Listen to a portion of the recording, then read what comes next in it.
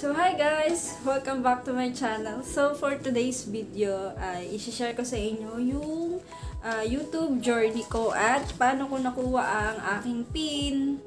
Yay! Nandito na siya. Ibig sabihin nito guys, pag meron na kayo nito, magkakaroon na kayo ng sahod, makukuha niyo na yung sahod nyo.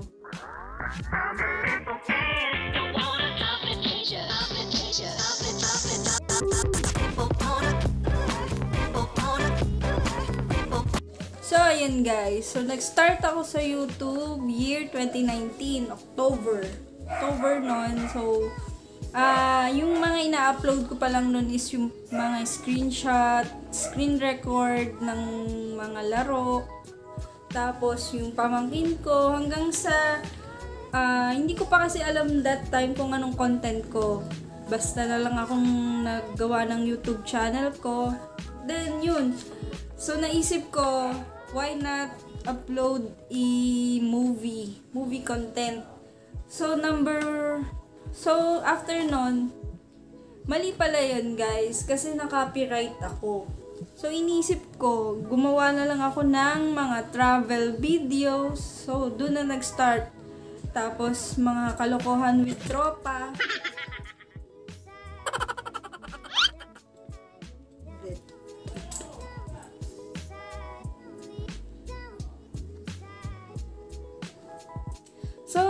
Nga guys, hanggang sa nakuha ko na yung eco-content ko, ah, hanggang sa umabot ako ng product review, malalaman mo yan guys, kasi parang random na yung mangyayari. Kunwari kay Ivana Alawi, puro ano sila, ah, prank. Prank sa isa't isa ng pamilya nila, ganun. Tapos may mga challenge-challenge. So, habang tumatagal yung journey mo sa YouTube, malaman mo yung magiging content mo. So, yun guys, number one is, ah, dapat alam mo yung iko-content mo. Dapat nasa puso mo yung ginagawa mo para alam ng mga subscribers mo, ng viewers mo na, ay, si ganto, ganyan, ganto yung gusto ko sa kanya, pupunta ako sa channel niya, babalik-balikan na lang nila hanggang sa And then yun nga guys, ah, hanggang sa as months go by, days goes by, dumadami na rin yung ina-upload kong video. Ah, nakikilala na rin yung mga ina-upload ko. Doon, doon lang kayo mag-start sa kung ano bang yung i-content nyo. Hanggang sa marireach nyo na guys yung 1,000 subscribers, kasama yan sa requirements. Yung 4,000 watch hour, yan. Na-reach ko din yan after one year. So, kung masipag ka, mas mabilis mo siyang maaabot less than a year. So, so yun nga guys, na-reach ko na yung mga requirements ni YouTube. At, doon na nag-start yung YouTube journey ko nung once na na-monetize na ako. So, ayun nga guys, na-receive ko na yung pin ko. So, ah, So, actually, na ano ko na siya guys, na lagay ko na siya sa Google AdSense ko, yung pin ko, na verify na nila ako. Then, parang one day lang yung pagitan na napadala na agad nila yung sahod ko sa account ko sa BPI. Sa BPI ko kasi ni...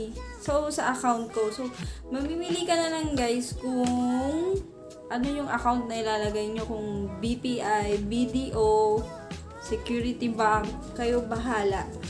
So, so ito yung laman nung pin. Ganito lang siya guys. Yan. So, yung pin ko, syempre, tatago ko. So, yan. Ganyan lang yung ipapadala sa inyong Google AdSense pin. So,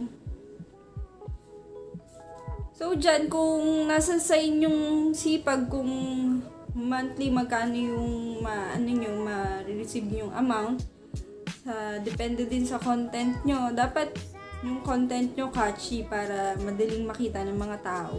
So, yun guys, sa mga bago pa lang dyan na small YouTuber like me, ah, tuloy-tuloy nyo lang guys yan. Kung akala nyo hindi kayo mapupunta sa goal nyo na ma-monetize kayo guys. Akala ko din, pakiramdam ko din yun. So, tuloy-tuloy nyo lang guys, may magbubunga din dyan.